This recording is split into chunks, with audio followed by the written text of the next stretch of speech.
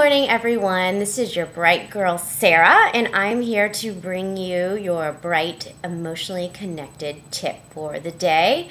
I want to first talk about the new Star Trek movie that's out. If you haven't seen it, you need to go see it. The younger Kirk is oh so nice on the eyes, and sadly, I am a closet one of these.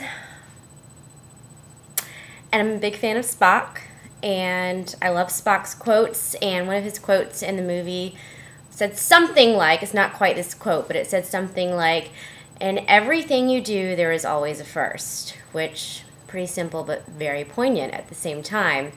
And that got me thinking as far as um, starting something, finishing something. And I read a great quote that says this Starting something is the best way to finish something.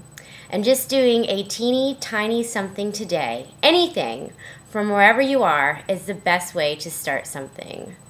So, if you need to start losing weight for that bikini, start today. Anything, teeny tiny little something. Maybe just eat one less chip or drink one less drink. If you need to create that relationship, rekindle that flame, send a sweet little text message. Anything tiny, teeny tiny, obviously, that creates inertia and it's going to go from there. So enjoy your day. Hopefully, that was a good emotionally connected tip for you, and I will see you tomorrow with another bright tip. Have a great day.